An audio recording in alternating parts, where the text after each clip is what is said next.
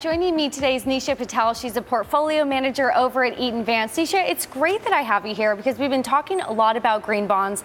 Sometimes the market seems like it's a marketing gimmick, but there actually is a real investment thesis to them. So walk me through why you like green bonds now.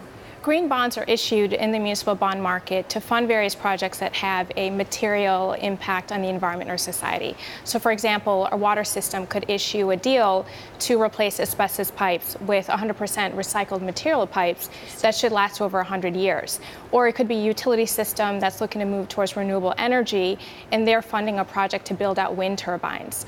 Eaton Vance specifically is partnered with one of our subsidiaries, Calvert, a responsible investing leader to create a framework to not only provide a negative screen and avoid the sectors and issuers that have a negative impact, but to really seek out the ones that have that positive and material impact.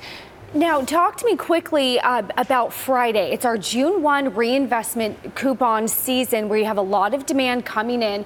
Do we expect this season to really outperform now because of that demand coming in? Yes. So, right now, starting June 1st and even over July and August, we're expected to see heavy reinvestment flows coming to the market to where the amount of reinvestment flows coming in versus the amount of supply should be outweighed about uh, 70 to 80 billion dollars. So, we certainly think this is going to help Muni perform performance. And we expect a lot of the flows to go into the short and intermediate part of the curve. Okay. That is where investors can pick up the most amount of yield. So if you take a look at the entire 30 year yield curve today, investors can pick up about 85% of the yield just by going out 10 years. Wonderful. Thank you. That was Nisha Patel, portfolio manager over at Eaton Vance.